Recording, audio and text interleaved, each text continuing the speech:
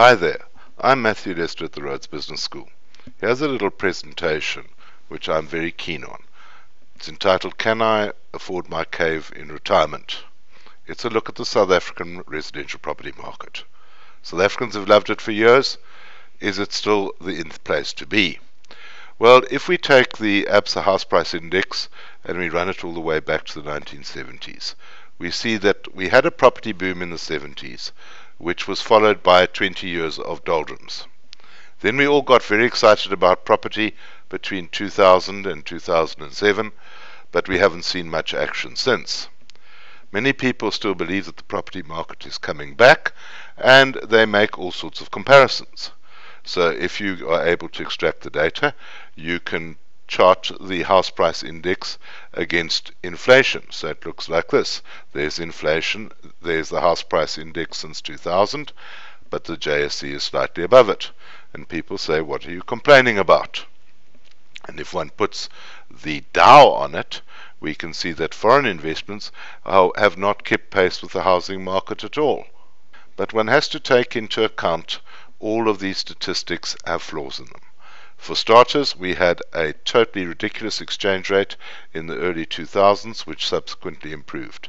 Then we had the effects of the financial crisis. And these have to be taken out of the equation. So let's look at it post 2008.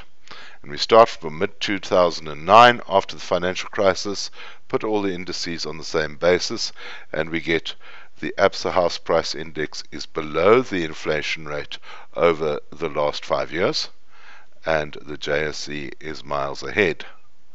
And if one looks at offshore investments since 2009, they are even way ahead of the JSE.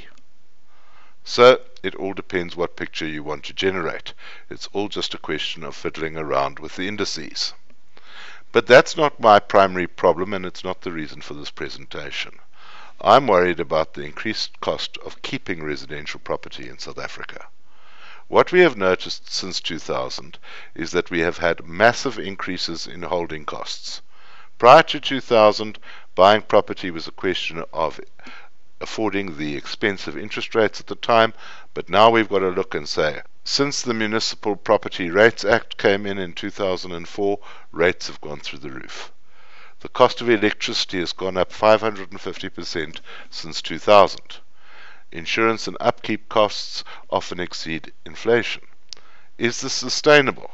And to answer that question, I put it to you this, on this basis. Will you be able to keep all your property in retirement? So what we did with my friend Mark Cowley is we developed a little Excel spreadsheet and we fill it in as follows. My age is currently around 50. I want to retire when I'm 65. I want to keep my house, so I'll carry on paying rates of 3,000 Rand per month. I'll have my monthly trip to the hardware store, then pay my insurance on bricks and mortar. Then I'm going to have a staggering electricity bill, and then I also want a servant. If I want all of those things in retirement, I'd better put aside 3.45 million Rand. You might say that sounds absolutely impossible. But what we've got to say is I'm going to pay for that out of my pension. So I have to accumulate the capital to generate the annuity, to then pay tax on the annuity, to then pay the household utilities. And this is what people are not factoring in. The more expense that you have in retirement, the more capital you're going to require, and the more taxes you're going to pay. If you think that one's frightening, we've even made a position on the spreadsheet to put in various caves that people have accumulated over the last 20 years your house at the coast, your house um, on a game farm, etc., etc.